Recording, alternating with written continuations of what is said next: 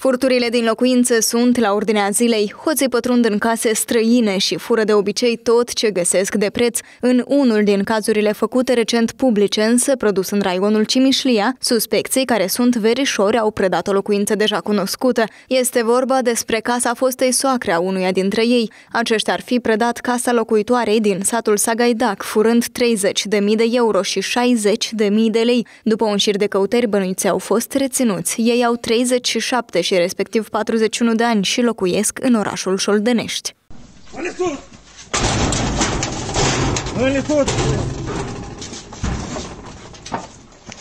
Rămân la spate.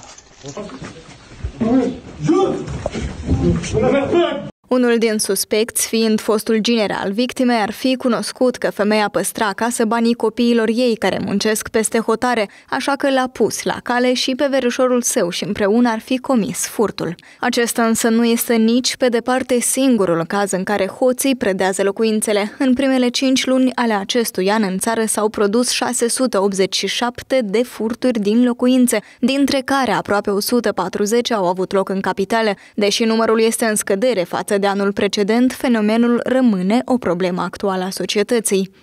Dacă este să structurăm, atunci prioritatea au casele la sol, după care urmează deja apartamentele. Cel mai des aceste infracțiuni sunt efectuate de către persoanele care au antecedente penale, persoanele care nu au un loc permanent de muncă, de către minori, dar și de către persoanele care în timpul comiterii infracțiunii se află în stare de ebrietate și nu prea gândesc ceea ce fac. Cel mai des, hoții pătrund în locuințe prin balcoane, prin acces liber, deteriorând geamurile din termopan sau chiar lachetele de la uși. Potrivit oamenilor legii, hoții care decid să acționeze în capitală aleg un interval de timp diferit de cei care fură pe teritoriul țării. Dacă vorbim de capitală, atunci este vorba despre intervalul de timp ora 12-ora 18. Dacă e să analizăm logic, este timpul când persoanele sunt la serviciu, nu se află acasă, apartamentele rămân fără supraveghere. În raport cu țara, în țară se întâmplă cel mai des pe timpul nopții, deci începând cu miezul nopții și până la 6 dimineața. În rezultatul unei analize, forțele de ordine au stabilit și schemele după care acționează hoții în cele mai dese cazuri. Infractorii tot au o schemă bine pusă la punct, deci ținând cont de ultimele cazuri pe care le-am înregistrat noi, ă, ăștia ceva timp, deci câteva zile, monitorizează, se pregătesc ca să pătrundă în casa respectivă, deci analizează când proprietarii pleacă când vin, respectiv dacă ei lipsesc pe o anumită perioadă de timp de acasă, lumina nu arde, acolo nu intră nimeni, deci ei cumva tatonează terenurile astea până să pătrundă în case. Oamenii legii menționează că pentru a nu deveni prada hoților trebuie respectate un set de reguli simple.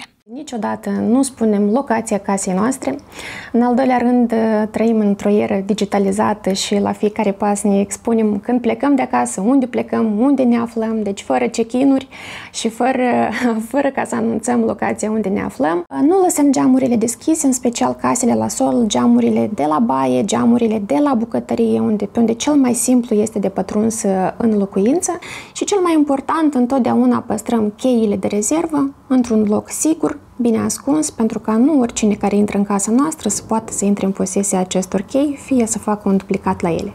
De asemenea, forțele de ordine îndeamnă oamenii atunci când sunt vizitați de angajații unor servicii să-i roage să se legitimeze și, desigur, să nu lase bunuri de preț la vedere. Este de menționat că furtul se pedepsește penal cu până la 4 ani de detenție. În cazul în care însă suma pagubei materiale este de proporții deosebit de mari, așa cum s-a întâmplat în cazul din raionul Cimișlia despre care am relatat, atunci vinovații riscă până la 12 ani de pușcărie.